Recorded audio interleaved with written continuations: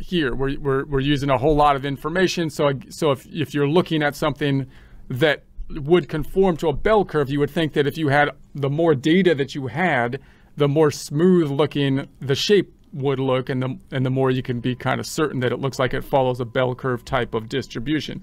So we're going to go, okay, it looks like a bell curve kind of does the thing. I'm going to move this off to the side. And let's start to build an actual uh, bell curve.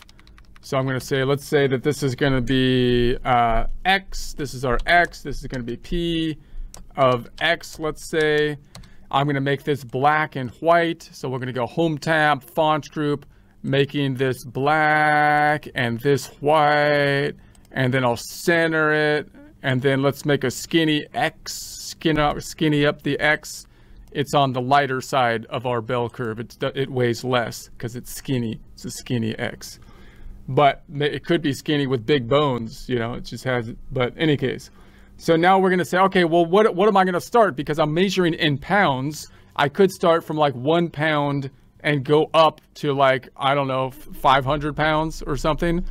Uh, but it's I don't probably need to go that far because it's not likely that someone weighs one pound. So what's the range that I need on my x's that are going to be on the x parameter? So I could say, well, everything, let's do that four standard deviations again. That should pick up almost everything in four standard deviations. So let's go that we're going to say the numbers of of standard deviations, which I'm just going to say SDs in our chart, the number of x's that we want are going to be equal to uh, well, let's four, let's just say four of them.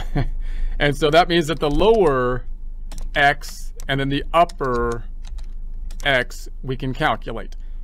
So the lower x is going to be the mean, the middle point, minus the standard deviation, 1166, times four of them to go, to go four standard deviations. And we're going to say, okay, boom. So we've got 80, so, I, so people don't weigh less than 80 oftentimes, right? And then we're gonna say pounds, we're talking pounds. I know if, the, if you're not in the United States, you're like, what are you talking about? Or what, why a pound, what in the world? But whatever, that's how we do it, man. So now we're gonna say the upper one is gonna be 127 uh, plus a standard deviation times four and enter. So now uh, 173 pounds is going to be our upper end.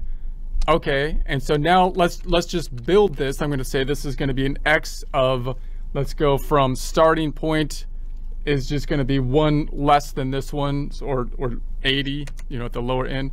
I'm going to get rid of the decimals because I'm not going to do the decimals here. I'm just going to take it to the whole pounds and I'm going to drag it. Well, let's do 81 so we can see the pattern, get rid of the decimals. Select those two, I'm gonna drag it down to 174. 174, and that should be good. So I'm gonna drag it down until I get the pattern down to 174. That doesn't even fit me, man, I'm, because I'm yoked up. What about my someone like me that's like huge, like Arnold Schwarzenegger, but not now because he's old, but like when he was I'm not, you know, when he was not old.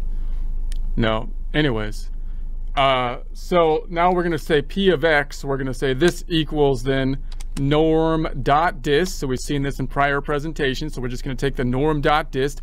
I, I won't do the spill function this time. I'll just do the normal process. So I'm going to take the X, comma, the mean. The mean is outside the data we're working in. So I'm going to F4 it, making it absolute. So it will copy down uh, and not move that cell down, comma, the standard deviation is that one. Again, it's outside the data I'm working with. I don't want it to move down, so I'm going to select F4, dollar sign before the F and the 3, making it absolute, comma, cumulative, not cumulative, false or 0, and then enter.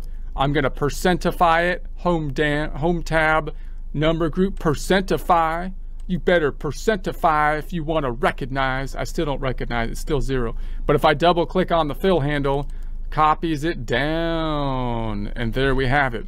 Now, if I if I was to total this up, total, and say alt equals to sum, trusty sum formula, we get one or 100 because basically all the data is in there.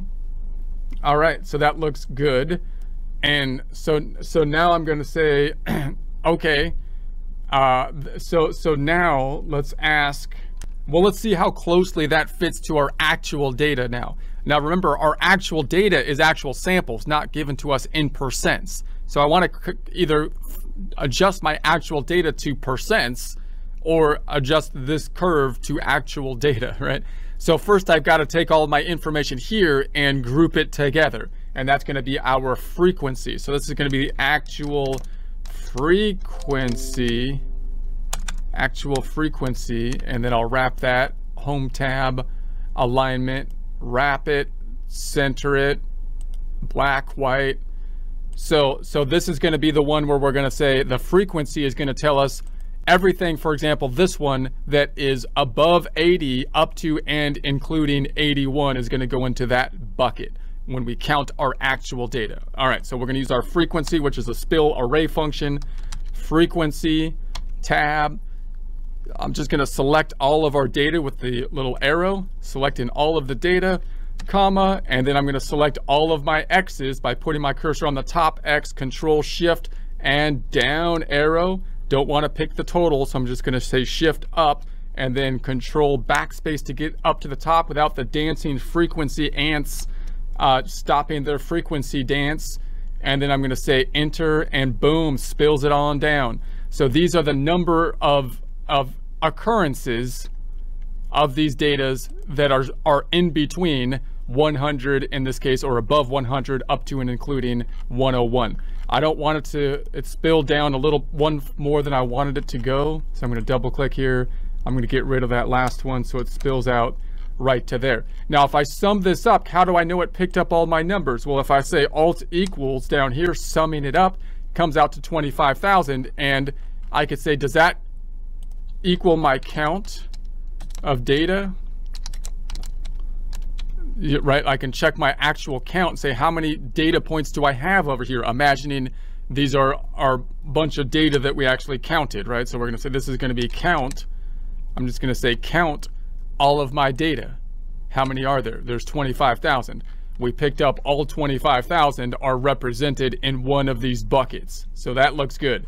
Check, confirmed. So now I can either convert my percentages to counts by multiplying all the percentages by 25,000, then I can then I can compare my actual to my to my uh, the, the, the, the smooth curve, or I can convert, which is probably the better thing to do, the actual frequency to the percent by taking the percent of the total.